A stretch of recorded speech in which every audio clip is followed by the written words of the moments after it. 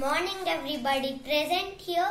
My name is Maulik Verma from class 2C of the Lexicon School Hadapsar.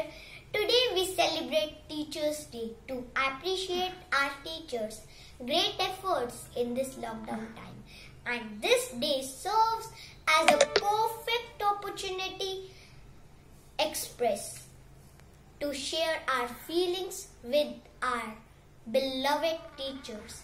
Teachers are the pillars of the country. We are fortunate to have been blessed from such wonderful teachers. Teachers play a key role to shaping our personalities and making us better human beings. We pray for their well-being, success and shower immense respect today and always thank you.